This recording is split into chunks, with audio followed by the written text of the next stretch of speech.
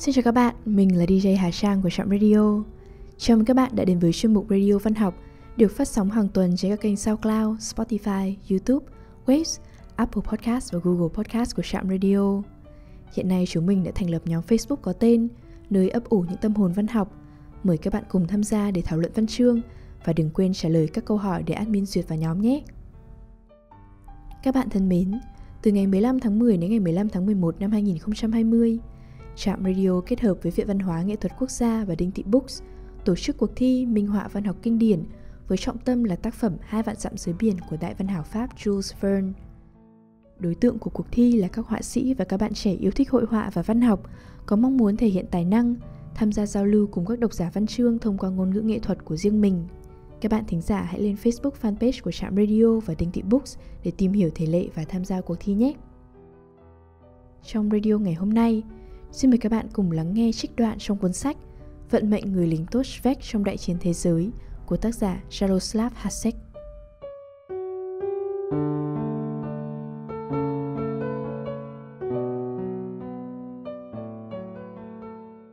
Vận mệnh người lính tốt Svek trong đại chiến thế giới. Lời nói đầu. Thời đại lớn đòi hỏi có những con người vĩ đại. Họ là những anh hùng không ai biết đến. Là những người giản dị khiêm tốn không có cái vinh quang và lịch sử như của Napoleon. Nhưng đem tính cách của họ ra mà phân tích Thì ta thấy nó có thể làm lu mờ cả quang vinh của Alexander Đại Đế. Ngày nay, trên các nẻo đường Prague Chúng ta có thể gặp một người đàn ông ăn mặc tồi tàn Một người không hề biết mình có ý nghĩa gì trong lịch sử của thời đại lớn lao mới. Người đàn ông ấy khiêm tốn xảo bước trên đường đi của mình không làm phiền ai và cũng chẳng bị các nhà báo làm phiền để xin được phỏng vấn ông. Nếu mà bạn hỏi ông tên là gì, thì ông ấy sẽ trả lời một cách đơn giản và khiêm tốn. Tôi là svek vâng người đàn ông trầm lặng, khiêm tốn và ăn mặc xấu xí đó quả đúng là người lính tốt svek ngày nào. Đó là một người anh hùng, một người dũng cảm mà mọi công dân của vương quốc Bohemia dưới thời nhà nước Áo đều nói đến. Và vinh quang của ông cũng không bị lãng quên cả ở giai đoạn nhà nước Cộng Hòa. Tôi rất quý mến người lính tốt ấy. Viết về vận mệnh của Schweck trong đại chiến thế giới, tôi tin chắc rằng tất cả các bạn sẽ có cảm tình với người anh hùng khiêm tốn không tên tuổi ấy. Ông không đốt đền thờ nữ thần ở Ephesus như kẻ ngu ngốc Herotastos đã làm – để được viết đến trên báo chí và đưa vào sách tập đọc ở nhà trường. Và như vậy là đủ. Tập 1 Ở hậu phương 1. Người lính tốt Svek can thiệp đến đại chiến thế giới Thế là họ giết Ferdinand của chúng ta rồi. Bà giúp việc nói với Svek, người lính đã giải ngũ cách đây mấy năm, sau khi bị ban quân y tuyên bố một cách chắc chắn rằng anh là một kẻ ngu độn. Bây giờ thì anh kiếm sống bằng nghề bán chó Toàn những con chó lai tạp xấu xí như ma Lại còn giả mạo giấy tờ thuần chủng cho chúng nữa Ngoài cái nghề đó ra Anh còn bị bệnh thấp khớp hành hạ Và đúng lúc đó thì anh đang ngồi xoa thuốc mỡ lên đầu gối Phép đi năng nào hả bà Moreover? Tay vẫn không ngừng xoa bóp đầu gối Anh Schweck hỏi lại Tôi có biết hai người tên là Phép đi năng Một người là thằng hầu của ông Bruce bán hàng vệ sinh và mỹ phẩm có lần hắn uống nhầm cả một lọ dầu bôi tóc của ông ấy. Một người nữa tên là Ferdinand Kokoska, chuyên đi nhặt phân chó. Cả hai mà có bị sao thì cũng chẳng mất mát gì. Nhưng mà cậu ơi, đấy là ngài đại công tước Ferdinand Okonopiste, cái ông to béo ngoan đạo ấy cơ ạ. Ôi Jesus Maria! Anh Svek kêu lên, khá thật. Thế ngài đại công tước bị giết ở đâu vậy? Thưa cậu, ở Sarajevo ạ bị bắn bằng súng lục cậu ạ. Ngài cùng với bà đại công tước đến đó bằng xe ô tô. À, ra vậy, bà thấy chưa? Đến bằng xe ô tô đấy. Ừ, tất nhiên là một người như ngài có thể đến bằng ô tô, nhưng mà ngài lại không hề nghĩ tới chuyện một chuyến đi như thế có thể kết thúc thảm hại. Hơn nữa, lại còn đi ở Sarajevo, tức là Bosnia bà ạ. Tôi cho là có lẽ người Thổ Nhĩ Kỳ đã ám sát ngài. Đúng ra mà nói thì chúng ta không nên chiếm Bosnia và Herzegovina của họ. Thế đấy bà ạ. Vậy là ngài đại công tước đã về chầu trời rồi. Ngài có bị đau đớn lâu không? Ngài đại công tước chết ngay tức thì cậu ạ. Và cậu cũng biết rằng đấy là súng lục chứ có phải đồ chơi đâu. Cách đây không lâu, ở Nusle chỗ tôi ở có một ông mân mê khẩu súng lục, tay máy thế nào mà bắn chết cả nhà, kể cả ông coi nhà. Đúng lúc ông ấy nghe tiếng súng nổ đã lên tầng 3 để xem ai bắn. Ấy, cũng có khẩu súng lục chẳng làm sao mà bắn ra được phát nào, cho dù bà có phát điên lên thì cũng thế, bà Morover ạ. À. Súng ấy có nhiều kiểu lắm, nhưng mà khi muốn bắn ngài đại công tước thì hẳn là họ phải mua khẩu tốt hơn. Và tôi cũng xin cuộc với bà là kẻ đã bắn ngài tất phải ăn mặc rất chỉnh tề. Bà cũng biết là bắn ngài đại công tước là việc rất khó khăn, không giống như khi lâm tặc bắn người canh rừng đâu. Trước hết là phải làm sao đến gần được ngài đại công tước, mà để đến gần được người như thế thì không thể ăn mặc lôi thôi, phải đội mũ chóp cao để không bị cảnh sát tóm cổ trước khi tới nơi. Nghe bảo họ nhiều người cậu ạ. À. Cái ấy thì là lẽ tất nhiên rồi bà ạ. Svek nói và ngừng tay xoa bóp đầu gối. Nếu mà muốn giết ngài đại công tước hoặc hoàng đế thì chắc hẳn bà cũng phải bàn bạc với ai chứ. Thêm người là thêm cái khôn. Người này bàn vào cái này, kẻ khác góp ý cái kia. Có thế thì mới được việc. Cũng như lời trong bài quốc ca của chúng ta ấy mà. Cái chính là phải dình cho được lúc ngài đi qua. Giống như vụ tay Luceni đâm chết Asbeta tội nghiệp của chúng ta bằng cái rũa. Hắn đã đi dạo cùng bà ấy. Đến nước ấy thì bà bảo còn tin ai được. Từ dạo ấy cũng chẳng có hoàng hậu nào đi dạo chơi nữa. Và cũng có nhiều người khác sẽ gặp chuyện. Rồi bà thấy là người ta cũng sẽ động đến cả sa hoàng với nữ hoàng. Thậm chí, lại trời, còn có thể động tới cả hoàng đế nữa. Khi mà họ đã làm như thế với ông chú của người. Hoàng đế có nhiều kẻ thù lắm, còn nhiều hơn cả Ferdinand. Cách đây không lâu, có một ông đã nói ở quán rằng sẽ có ngày mà các hoàng đế nối nhau mất mạng, rằng lúc ấy thì chẳng quan chức nào cứu giúp được họ. Nhưng ông ấy lại không có tiền để trả, thế là chủ quán gọi cảnh sát đến bắt. Và ông ấy cho chủ quán một cái tát, cho cảnh sát hai cái. Vì vậy mà ông ấy bị đẩy vào xe cũi rồi bị kéo đi, nghe bảo để cho trấn tĩnh lại. Ôi chào, đời nay có nhiều chuyện lắm bà ạ. Việc này là tổn thất lớn cho nhà nước Áo. Ngày tôi còn ở quân đội thì có một tay infanterista bắn chết ngài Hitchman. Hắn nạp đạn vào khẩu súng trường rồi đi vào văn phòng của ngài. Người ta bảo hắn là hắn chẳng có nhiệm vụ gì ở đấy, nhưng hắn cứ lải nhải là phải nói chuyện với Hitchman. Ông này đi ra và ngay lập tức ra lệnh phạt cấm rời doanh trại. Thế là hắn nhằm thẳng vào tim ông ấy mà bóp cò. Viên đạn xuyên qua người ông ấy, rồi lại còn gây thiệt hại cả trong văn phòng nữa. Nó làm vỡ lọ mực Mực ấy đổ ra công văn giấy tờ Ôi, thế còn người lính ấy thì sao hả cậu? Hồi sau bà Morover hỏi lúc Svek mặc áo Hắn treo cổ bằng dây đeo quần Svek nói, tay phủi bụi cái mũ cứng Nhưng cái dây đeo quần ấy cũng chẳng phải là của hắn Mà hắn mượn của cai ngục Bảo là mượn vì quần bị tụt Chứ chẳng lẽ ngồi chờ bị xử bắn hay sao? Bà biết đấy, những lúc như thế người ta thường bối rối đầu óc không biết làm sao cai ngục bị giáng cấp, cộng với 6 tháng tù nữa. Nhưng ông ta chẳng ngồi tù mà bỏ trốn đi Thụy Sĩ. Bây giờ thì làm cha giảng đạo của một tôn giáo nào ấy. Thời nay có ít người trung thực lắm bà ạ. Tôi cho là Sarajevo, ngài đại công tước cũng nghĩ nhầm về kẻ đã bắn ngài. Lúc trông thấy người đàn ông ấy, chắc ngài nghĩ rằng, à, đấy là người tử tế, người ấy chào đón mình kia mà. Ấy thế mà hắn lại nổ súng bắn ngài. Hắn chỉ bắn ngài một phát hay bao nhiêu? Báo viết là ngài đại công tước bị bắn thủng cả người cậu ạ. Hắn chút tất tần tật đạn vào ngài. Súng bắn thì nhanh lắm, nhanh kinh khủng bà Morover ạ. Giá như làm việc đó thì tôi sẽ mua khẩu Browning. Trông nó giống như đồ chơi, nhưng mà chỉ trong vòng 2 phút thôi là bắn chết được đến hai chục đại công tước, bất kể gầy hay béo. Đương nhiên là nhằm vào ngài đại công tước to béo thì chắc chắn hơn là vào ngài đại công tước gầy gò. Ấy là nói chuyện vậy với bà thôi. Bà còn nhớ hồi người ta bắn chết nhà vua ở Bồ Đầu Nha không? Ông vua ấy rất béo. Vâng, bà biết đấy, là nhà vua thì không thể gầy được. Thôi, bây giờ thì tôi ra quán Ukalicha đây. Nếu có người đến hỏi lấy con phúc hươu tôi đã nhận tiền cọc, thì bà bảo là tôi đang để nó ở ngoại ô, rằng tôi mới cắt tay cho nó. Chừng nó chưa lành thì còn chưa được mang nó đi, không thì nó bị lạnh. Bà để chìa khóa cho tôi ở chỗ bà coi nhà nhé. Trong quán Ukalicha chỉ có một người khách đang ngồi. Đó là ông cảnh sát dân sự Brett Schneider, người của an ninh quốc gia. Ông chủ quán Palivek đang rửa bát đĩa, còn ông Brett Schneider thì cố gắng nói câu chuyện quan trọng với ông Palivek, nhưng vô hiệu. Ông Palivek là người ăn nói thô tục có tiếng, lời nào nói ra cũng xen thêm đít hay cứt. ấy thế mà ông lại là con mọt sách. Ông luôn bảo mọi người hãy đọc những gì Victor Hugo đã viết khi miêu tả trận đánh cuối cùng của quân đội Napoleon chống người Anh trong chiến trận Waterloo. Mùa hè đẹp đấy chứ nhỉ? Ông Brett Schneider cố gợi một câu chuyện nghiêm chỉnh. Trắng ra cái cứt gì. Ông chủ quán Palivek trả lời, tay xếp bát đĩa vào tủ. Ở Sarajevo người ta làm ghê quá.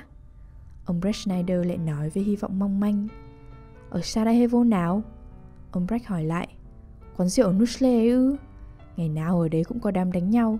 Ông biết đấy, Nusle mà. Sarajevo ở Bosna cơ, ông chủ quán ạ. À. Người ta đã bắn chết ngài đại công tước đấy. Ông bảo sao? Tôi chẳng dính vào những chuyện ấy làm gì. Có liếm đít tôi thì liếm chứ đừng lôi tôi vào đây. Ông Palivek lịch sự trả lời và châm lửa hút tẩu. Thời buổi này dây vào những chuyện ấy là mất mạng như chơi. Tôi là nhà hàng, ai đến đây uống bia thì tôi rót. Nhưng mà cái Sarajevo, cái chính trị hay cái ngài đại công tước đã chết ấy chẳng phải là chuyện của chúng tôi. Vớ vẩn vào đấy thì có mà đi Prankak sớm. Ông Bretschneider im bặt và thất vọng nhìn cái quán vắng tanh. Một lúc sau, ông lại lên tiếng. Ngày trước ở đây có treo chân dung hoàng đế, đúng chỗ bây giờ có cái gương kia. Ừ, ông nói phải. Ông Palivek trả lời. Có treo ở đấy nhưng ruồi ỉa vào đấy, thế là tôi phải cất lên tầng mái. Ông biết đấy, kẻo lại có người nói này nói nọ phiền ra, tôi chả muốn bận vào thân. Ở Sarajevo chắc là phải kinh khủng lắm, ông chủ quán nhỉ. Câu hỏi trực tiếp xảo quyệt khiến ông Palivek trả lời một cách hết sức thận trọng. Vào những lúc này thì ở Bosnia Herzegovina thường nóng kinh khủng. Hồi tôi còn đi lính ở đấy thì người ta thường bị trường đá lên đầu ông Oplajnat chúng tôi. Ông đã ở trung đoàn nào hả ông chủ quán? Tôi không nhớ cái nhỏ mọn còn con ấy. Tôi chẳng bao giờ quan tâm đến những chuyện vớ vẩn như thế, cũng chẳng bao giờ tò mò bận tâm làm gì. Ông chủ quán đáp, quá tò mò là có hại. Lần này thì ông cảnh sát dân sự Brett Schneider im bặt thật sự. Khuôn mặt đăm đăm của ông chỉ tươi lên khi thấy Schweck tới. Vừa vào đến quán, Schweck đã gọi một cốc bia đen, kèm theo lời nhận xét. Hôm nay ở Viên người ta cũng có tang. Mắt ông Brett Schneider sáng lên đầy hy vọng. Ông nói ngắn gọn. Ở Konopiste có treo 10 lá cờ đen. Lẽ ra thì phải có 12 lá. Svek uống một ngụm bia rồi nói.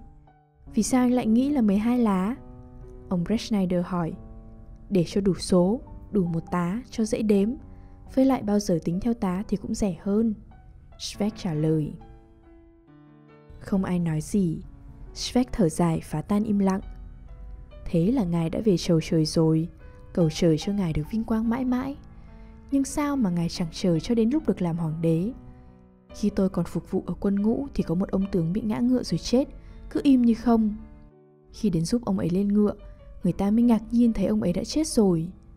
Mà khi đó ông ấy cũng đang trở thăng lên trước phe massage đấy. Việc ấy xảy ra trong một cuộc diễu binh.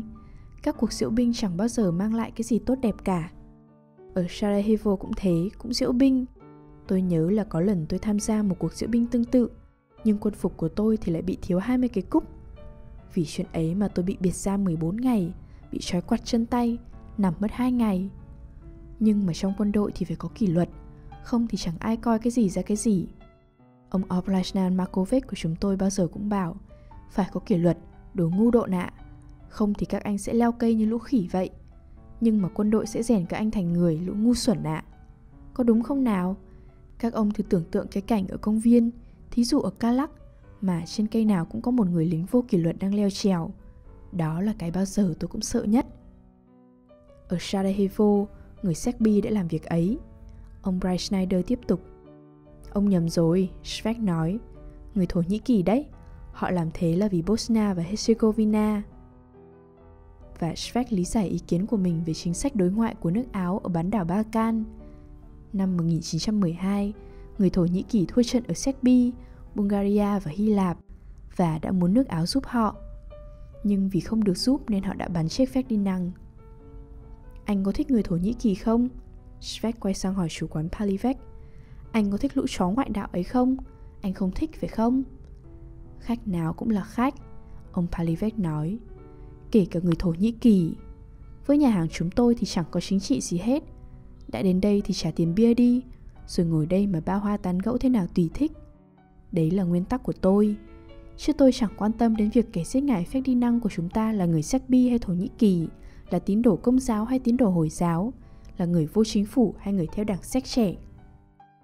Vâng, ông chủ quán ạ. Ông Brett đều lên tiếng Lại hy vọng là ít ra một trong hai người sẽ xa lưới. Nhưng ông cũng phải công nhận rằng đó là tổn thất lớn cho nước Áo. Schweck trả lời thay ông chủ quán Tổn thất là cái rõ, không chối cãi được rồi. Tổn thất kinh khủng. Không thể thay thế ngài Ferdinand bằng một thằng ngu nào đó được. Chỉ có điều đáng lẽ ngài phải béo hơn thế nữa. Anh nghĩ thế là sao? Ông Brett Schneider chợt tỉnh cả người. Tôi nghĩ thế là sao ư? Schweck hào hứng đáp. Chỉ đơn giản là vậy. Giá mà ngài béo hơn Thì chắc chắn trước đó ngài đã bị tai biến mạch máu não mà chết rồi. Khi ngài đuổi mấy mụ đàn bà đến nhặt củi hái nấm trong rừng của ngài ở Konopiste Giá mà thế thì ngài đã không phải chết một cách nhục nhã như thế này Ngẫm lại thì thấy ngài là chú của hoàng đế Mà họ còn bắn ngài Quả thật là xấu hổ Người ta viết đầy báo chí về chuyện ấy Trước đây, ở Budejovic của chúng tôi có một người buôn bán gia súc tên là Brestilat Luvic. Người ta đâm chết ông ấy ở ngoài chợ chỉ vì một cuộc cãi nhau nhỏ. Ông ấy có thằng con tên là Buslav. Nó đi đâu bán lợn cũng chẳng ai mua cho. Ai cũng bảo, đây là con trai của kẻ bị đâm chết, chắc nó cũng là đứa chẳng tử tế gì. Thế là nó phải nhảy cầu Krumlov xuống sông Vtava. Người ta phải vớt nó lên, phải làm nó sống lại, phải tống nước ra khỏi người nó, Vậy mà nó chết trong tay bác sĩ khi ông này tiêm cho nó. Anh so sánh lạ thật đấy Ông Brett Schneider nói một cách ý nghĩa. Đầu tiên anh nói đến ngài Ferdinand Rồi sau đó lại nói về kẻ buôn bán gia súc. Đâu có thế Schweck bảo chữa. Trời phạt tôi nếu tôi muốn so sánh ai với ai. Ông chủ quán biết tôi đấy Tôi không bao giờ so sánh ai với ai Có phải không nào Tôi chỉ không muốn ở vào địa vị bà quả phụ của ngài đại công tước thôi Bây giờ thì bà ấy biết làm sao đây mấy đứa con thành trẻ mồ côi, đất ở Konopiste thành đất không chủ. Lại đi lấy một ngài đại công tước mới nào khác ư? Như thế thì được ích lợi gì? Lại sẽ đi với ngài ấy đến Sarajevo, rồi thành bà quả phụ lần thứ hai hay sao? Trước đây, ở Svik gần Huboka có một ông coi rừng. Ông ấy có cái tên xấu xí là Pindur. Ông ấy bị bọn lâm tặc bắn chết, để lại bà quả phụ với hai đứa con. Một năm sau, bà này đi bước nữa, lại lấy một người coi rừng tên là Peplik Savek ở Midovari. Ông này cũng bị lâm tặc bắn chết. Rồi bà ấy đi lấy chồng lần thứ ba và cũng lại lấy người coi rừng. Bà ấy bảo là đến lần thứ ba thì mọi việc sẽ tốt đẹp. Nếu không thì tôi chẳng biết sẽ phải làm gì nữa. Tất nhiên là cả ông thứ ba cũng bị bắn chết. Lúc đó thì bà ấy đã có với các ông chồng cả thảy 6 đứa con. Bà ấy đi đến văn phòng của ngài công tước ở Hubroka để than phiền về nỗi khổ sở bất hạnh của mình với các ông coi rừng. Người ta khuyên bà ấy lấy ông Jared là người coi hồ cá Radis. Nhưng các ông có biết rồi lại thế nào không? Bọn đánh cá ở hồ đã dìm chết ông ấy, mà ông bà thì đã có với nhau hai mụn con. Sau đó, bà ấy đi lấy ông thợ hoạn ở Vodnani. Một đêm, ông này lấy rìu chém chết bà rồi tự ra đầu thú. Khi bị đem ra treo cổ trước tòa án ở vùng huyện Pisek, ông này cắn vào mũi treo cố rồi bảo là hoàn toàn không hối tiếc gì cả – và cũng còn nói thêm cái gì đó rất xấu xa về hoàng đế. Thế anh có biết ông ấy nói gì về hoàng đế không? Ông Brett Schneider hỏi bằng giọng chứa chan hy vọng. Tôi không thể nói cho ông được, vì không ai là người dám nhắc lại cái ấy. Nhưng nghe bảo cái ấy là cái khủng khiếp và ghê gớm lắm, đến mức mà một ông ủy viên tòa án lúc đó ở đấy đã nghe thấy rồi phát điên. Cho đến bây giờ, người ta vẫn còn biệt giam ông ấy, để điều đó không bị lộ ra cái ấy không phải là chuyện xúc phạm hoàng đế một cách bình thường mà người ta nói khi say rượu đâu. Thế những gì xúc phạm hoàng đế mà người ta nói khi say rượu? Ông Brett Schneider hỏi. Thôi thôi, tôi xin các ông, nói chuyện khác đi. Ông chủ quán Palivec lên tiếng. Các ông biết là tôi không thích những chuyện ấy. Tán gẫu linh tinh rồi hối không kịp. Những gì xúc phạm hoàng đế mà người ta nói khi say rượu ư? Schweck nhắc lại. Đủ thứ, Người ta uống rượu vào rồi say Rồi nghe quốc ca áo Rồi người ta bắt đầu nói Người ta nghĩ ra bao nhiêu chuyện về hoàng đế Nhiều đến mức giá mà nó chỉ đúng một nửa thôi Thì cũng đủ cho hoàng đế phải xấu hổ cả đời Nhưng mà quả thật là ông già không đáng bị nói xấu như thế Anh cứ nghĩ mà xem Rudolph, con trai hoàng đế đã chết lúc còn trẻ còn đang sung sức Hoàng hậu Asbeta của hoàng đế thì bị đâm chết bằng cái rũa Đại công tước Jean Ott biến mất Còn hoàng đế Mexico, em trai hoàng đế, thì bị xử bắn ở chân tường thành một pháo đài nào đấy. Bây giờ thì hoàng đế đến tuổi già rồi mà chú của ngài lại bị bắn chết. Họa có là người bằng sắt mới chịu đựng nổi từng ấy chuyện. Thế mà một thằng xe rượu nào đấy lại đi chửi bới hoàng đế. Nếu bây giờ mà có việc gì xảy ra thì tôi sẽ tự nguyện đi phục vụ và hy sinh thân mình vì hoàng đế. Shrek uống bia một hơi dài và tiếp tục. Các ông nghĩ là hoàng đế chịu để yên thế ư? Thế thì các ông chưa biết rõ ngài. Chiến tranh với người Thổ Nhĩ Kỳ sẽ phải xảy ra. Các người giết chú của ta thì ta vả vào mặt các ngươi. Chiến tranh là cái chắc. Serbia và Nga sẽ giúp chúng ta trong cuộc chiến tranh ấy. Sẽ đánh thẳng tay, sẽ có đổ máu. Trong giây phút tiên tri ấy, trông Svek thật đẹp. Gương mặt hồn nhiên, tươi cười tròn trặn như mặt trăng rằm của anh rạng rỡ vì hào hứng. Anh thấy mọi việc đều rõ ràng như vậy. Có thể là Svek tiếp tục nói về tương lai của nước Áo. Trong trường hợp chiến tranh với Thổ Nhĩ Kỳ, người Đức sẽ đánh chúng ta bởi vì người Đức và người Thổ Nhĩ Kỳ về phe với nhau. Lũ ấy là đồ đều không ai bằng trên thế giới. Nhưng mà chúng ta có thể liên kết với Pháp. Từ năm 71 Pháp đã nhăm nhe muốn đánh Đức rồi. Mọi việc sẽ xảy ra, chiến tranh sẽ xảy ra, tôi sẽ không nói gì hơn nữa. Ông Brett Schneider đứng dậy và trịnh trọng nói Anh sẽ không phải nói gì hơn nữa. Anh đi với tôi ra ngoài hành lang. Tôi có chuyện nói với anh. Schweck đi theo viên cảnh sát dân sự ra hành lang. Ở ngoài đó, anh hơi ngạc nhiên thấy người khách cùng uống bia với mình Đưa cho anh xem huy hiệu cảnh sát có hình con đại bàng Và tuyên bố rằng bắt anh và sẽ giải lên trụ sở cảnh sát ngay lập tức. Schweck cố gắng giải thích rằng có lẽ người ấy nhầm Chứ anh hoàn toàn vô tội rằng anh đã không hề nói một lời nào có thể xúc phạm đến ai. Nhưng Brett Schneider bảo Swick rằng thực sự anh đã phạm một số tội và một trong những tội ấy là tội phản quốc. Cả hai quay trở lại quán và Schweck nói với ông Palivek Anh tính cho tôi 5 cốc bia với một cái bánh sừng bò có xúc xích. Bây giờ thì rót cho một ly rượu mận nữa, rồi tôi phải đi vì tôi bị bắt. Ông Brett Schneider đưa cho ông Palivek xem huy hiệu cảnh sát mang hình chim đại bàng. Nhìn ông ấy một lúc rồi hỏi – Ông có vợ hả? Vâng. Bà ấy có thể trông nom cửa hàng trong lúc ông đi vắng được không? Trông được. Ồ, vậy thì ổn rồi, ông chủ quán ạ. Brett Schneider vui vẻ nói. Ông gọi bà ấy đến đây, giao cửa hàng cho bà ấy. Tối nay chúng tôi đến giải ông đi. Đừng lo lắng làm gì cả. Schweck ăn ủi ông chủ quán. Tôi đi đến đây chỉ vì tội phản quốc thôi. Nhưng tôi thì vì tội gì? Ông Palivek ca thán. Tôi đã thận trọng đến thế cơ mà. Brett Schneider bật cười và đắc thắng trả lời Vì ông đã nói là rồi ỉa vào hoàng đế, Rồi người ta sẽ tẩy não ông để cho ông quên hoàng đế đi Và trong sự tháp tùng của viên cảnh sát dân sự, Schweck rời quán Ukalicha Khi ra đến ngoài đường, Ông nhìn vào mặt hắn rồi cười thân thiện và hỏi, Tôi có phải đi xuống vỉa hè không? Tại sao? Tại vì tôi nghĩ là khi bị bắt thì tôi không có quyền được đi trên vỉa hè khi cả hai vào đến cổng trụ sở cảnh sát Svek nói Thế mà chả mấy chốc đã tới nơi rồi. Ông có hay đến quán Ukalicha không?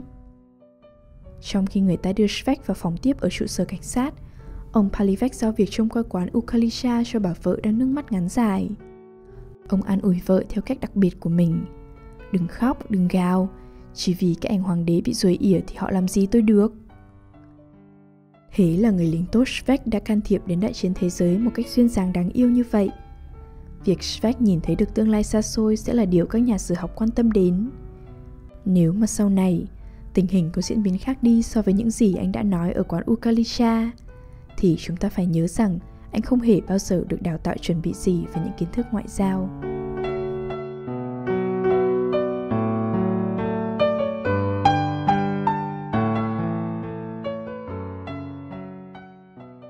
Đêm đã khuya, Thời lượng của chương trình đến đây là kết thúc.